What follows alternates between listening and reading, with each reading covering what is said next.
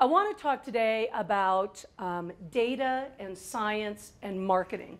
And a lot of times people don't think those all mix, but they actually do pretty well. So I want to start by taking you back. And some of you I'm going to take you back a little further than others. Back to the time when you got your first job. So you're probably a teenager and it's like, I got my first paper route. And you run home and you tell your parents, yay, or I got a babysitting job. You know, it's very exciting. Everyone's happy. You fast forward a few years, okay, now you've graduated, and now, eh, maybe after a job or two, you finally got that job that you know is going to be your career, all right? And you run home to tell your family, all right? This is how it went for me. So I run home. Guess what? I got the job that I know is going to be the career for the rest of my life. I am so excited. And my parents go, Great, what? Marketing. What? Marketing, you know, like understanding customer segments and looking at industry trends. Um, you mean sales?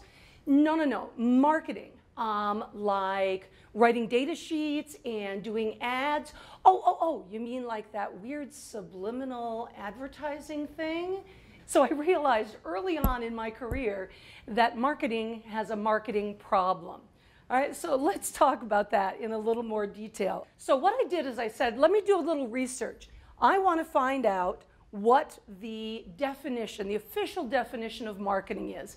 And I looked at the American Marketing Association and I looked at some encyclopedias. So here we have the definition, activities that direct the flow of goods and services from producers to consumers once primarily concerned with increasing sales through advertising and other promotional techniques, corporate marketing departments now focused on credit policies, product development. How many people fell asleep about three words into that whole definition? Okay, it's not, yeah, thank you. I got a lot of hands raised on that. It's not exactly the definition I was looking for. I searched some more and I actually ran across exactly what I needed in what has become my currently favorite marketing book called Decoded. Phil Barden just wrote it. It's the science behind why we buy. Some really great data in there. I highly recommend it. But here it is in a nutshell. Marketers influence buyer behavior. Makes absolute sense. And our job is to retain customers. We need to get customers to buy more. And we then need to convert non-customers into customers. That's awesome, all right? So this is great. Why do you guys care? All right? Those of you who are not going to be in the marketing profession, actually do need to care about this.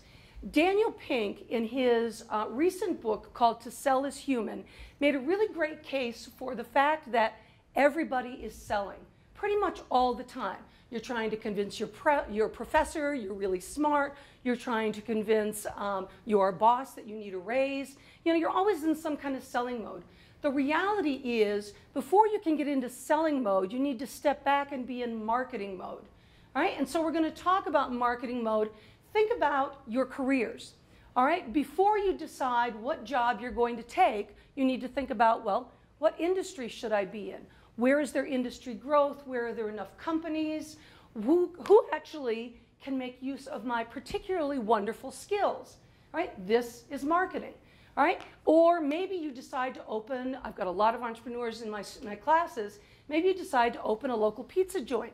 Now you have to decide, should I be focusing my time and energy on the students to the east of me, got a lot of them over there, hungry students, or should I focus on this really large community of elderly people in this housing complex right next to my shop? It's a marketing decision. I have to figure out where are my easiest buys going to come from, and then how do I approach them with my great message? All right, so this is all marketing. This is why we care.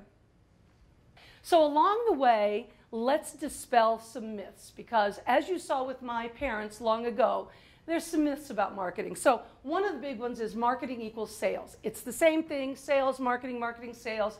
And especially in the industry I come out of, industrial automation, a lot of people think that way.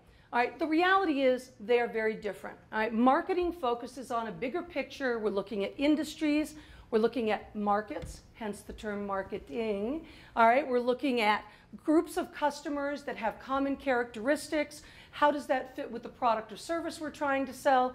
Whereas salespeople are actually focusing on an individual customer and they're there to close the deal, right? Okay, marketing and sales. Really easy. The next one is marketing equals advertising. All right, advertising is a portion of what we marketers do, but it's a very small portion of what we do. And if we look at the whole picture, marketing is all about selling the right product to the right customer at the right price using a convenient channel for the customer. All right? It's the four P's. A lot of you've heard of them product, price, place, promotion. If you learn nothing else about marketing when you go off to do your business thing, you can do pretty well if you just remember the four P's. All right? This is awesome. The problem is, in this day and age with the internet, advertising is becoming less and less relevant because we're overloaded with information. Right? So, so as a result, we end up with, with new behaviors that have been created, like banner blindness. People don't actually see those banner ads that are on web pages. If they don't see them, how are we marketers actually going to get our message out? This is a big problem. Look at some interesting data here. So this is data that comes out of the decoded book. All right, we have how much time people spend looking at certain ads. All right, I've got, if I'm lucky, I'm running an ad in a trade magazine like a medical journal or an engineering journal, and people will spend a little over three seconds on the ad. If I'm not so lucky and I'm running a web banner ad, basically people's eyes just scrape across it one second, and that's all I've got for them. All right? This is appalling. How do we get messages about all these cool new products we're creating out into the market if nobody's stopping to look at the messages that we're putting out there? Well, let's take a minute and look at the neuroscience that's happening behind the scenes. So, if we look at the neuroscience, the reality is in this day and age, we have roughly 11 million bits of information bombarding our, our, our senses every second. That's right, I did say every second. 11 million bits every second. All right, can we possibly function trying to actually decode and sense and figure out what we want to do with 11 million bits? No, we absolutely cannot. So we need shortcuts. All right, and this is where we get into cognitive psychology and what's going on inside the brain. How do we actually create these shortcuts that allow us to process the world around us? So now enter into the picture work from the Nobel winning psychologist um, uh, Kahneman. All right, and he's done some really fascinating work on human decision making. And he basically came up with two systems that we have. We have the autopilot and we have the pilot. Not surprisingly, the autopilot, we're really working on perception and intuition.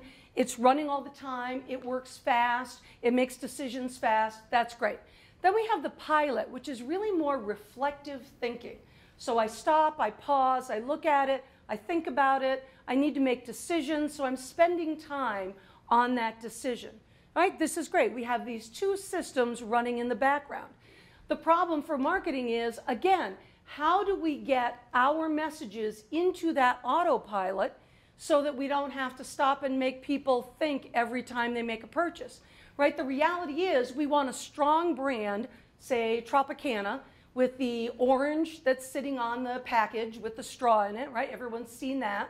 They actually tried to change the packaging a few years ago, and they put this beautiful glass with juice poured in it. They lightened up the colors of the packaging. Anybody heard about this particular devastating change they made? Turns out it was a disaster. All right, because people had gotten used to the brand. I see this fresh orange there. It's like drinking straight out of the orange. And when that branding symbol disappeared, people had to stop and think wow, what kind of orange juice do I want to buy? And as soon as people have to stop and think, you run the likelihood of losing that sale. All right, so we have to figure out how to get our behaviors into this autopilot system. Easier said than done. All right, so let's look at one of the ways. I, I work in technology marketing in the high tech world, Everyone thinks if you build a better product, the world will beat a path to your door, okay? So maybe that's one of the ways we can get people to pay attention. We create this absolutely brilliant product, right? And they're going to beat a path to our door and um, uh, everything will be good. Well, the problem is, according to Forbes, there are 250,000 products introduced every year, and the failure rate is 85 to 95 percent. This is incredibly disheartening, okay? And even if you're the first product into a market, it doesn't really help you. Uh, was Amazon the first online bookstore? No, books.com. Was Apple the first MP3 player?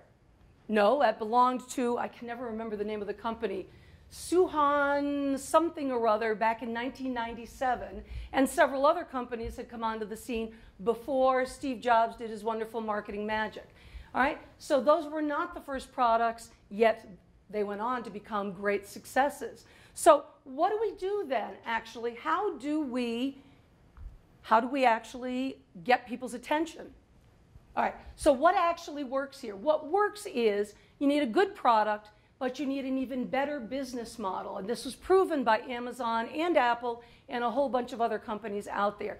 So in the case of, of Apple, for instance, the iPod and the iTunes combination that came out long ago now, all right, no one thought they had a chance. All right, Apple was late to the market with the iPod, but they did something that no one else had thought of. What happened back in that the early 2000 time frame? Anybody remember? Who, what company crashed and burned? Anybody remember Napster? All right, so Napster was free digital music. They had run around doing all sorts of great things. Everybody loved them. The problem was the music industry went after them with a bazillion lawyers and took them down. All right, so Hollywood and the music industry people were thinking, we are infallible, all right? This is early 2000s. Nobody can, can take away all our money and all our music rights and all this good stuff. All right, and I can understand that whole IP thing. The problem was the demand was there for digital music, and Steve Jobs knew that. So he went and did his magical sales pitch on the music people and said, listen, the demand's there. I have the technology that will help you make money and not have to spend it all on lawyers trying to take down all these new companies that are inevitably going to pop up and try to take you down. And since then, we've had things like the um, iTunes has generated $33 billion in, in money that's gone towards the content providers. 33 billion, 9 billion of that just in 2012. All right, that's going directly to those content providers, the people making the apps, the music, the books. All right, this isn't just Apple sucking up a lot of money. So let's look at the last, um, uh, the last actual myth that I want to talk about. All right, subliminal messaging, which is one of the ones I started out. Right, my parents said, "Ooh, is that that weird subliminal advertising stuff people do?" How many people here have heard of subliminal advertising? Come on, be honest. Right, pretty much everybody here. All right, so when this came up, this was back in 1957, a market researcher named Vicary ran a series of tests in a movie, and he put in two frames that, that, that ran for one three thousandth of a second. Right? So there's no way you could consciously register it, but you could subconsciously. And one said eat popcorn, and one said drink Coca-Cola.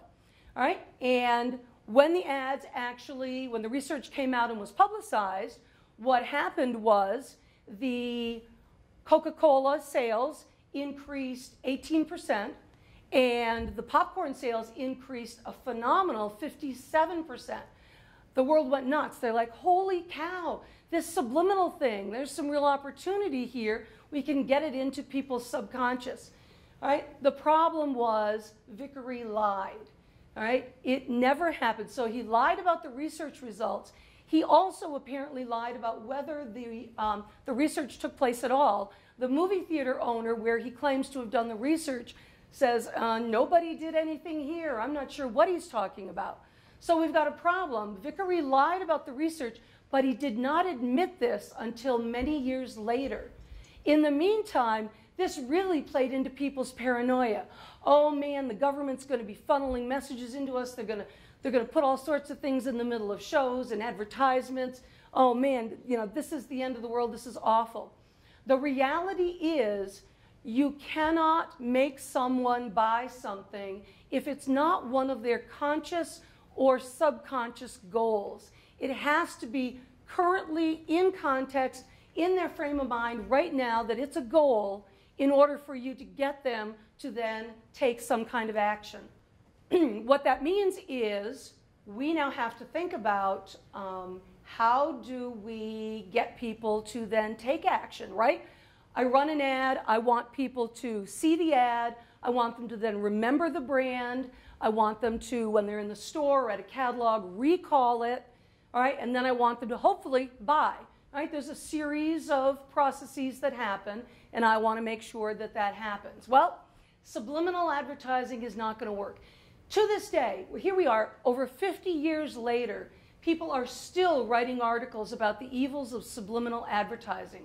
And I'm telling you right now, it does not exist. Okay? Unless you were hungry and wanted popcorn at that moment, you saw that, there's no way it would make you actually take an action. In fact, if it's not one of your conscious or subconscious goals right then, you won't even perceive the message. It'll just fly right by. All right? So I just want to make sure everyone was clear that that actually is not something that happens. All right, so as I was doing my research for subliminal advertising, I ran across this ad. All right, and it was classified as subliminal advertising. So we have Burger King Super 7 incher we have the pretty model with the bright red lipstick, the mouth open, she's surprised. This monster sandwich on the other side of the screen, the words, it'll blow you, uh, it'll blow your mind away. Is there anything subliminal about this ad? No, this is, this falls under the category of, in some cases, sex does sell. All right, so forget the whole thing about subliminal advertising. The bottom line here is at some point in your lives, you're all going to need to be thinking about marketing, whether it's for your career, for a business you open, uh, especially with the entrepreneurship going around these days. That's a burgeoning um, area of study in all the schools um, around the US. So you need to make sure you understand that marketing is about data and behavior. We need to understand business strategy, we need to understand psychology, neuroscience, and of course, we need to understand the behavioral economics, which is we actually make a decision whether it's a reward or a pain. So when we look at something, does it actually stimulate the reward areas of the brain? That's a good thing, then I'll take that behavior. Or does it stimulate the pain areas of the brain? I'm then going to avoid it and not make any kind of move. So what do you think? So pricing actually stimulates the pain portion of the brain. What do you think sex stimulates in the brain? And maybe the reward portion? All right. Thank you very much. Have fun and have a great day.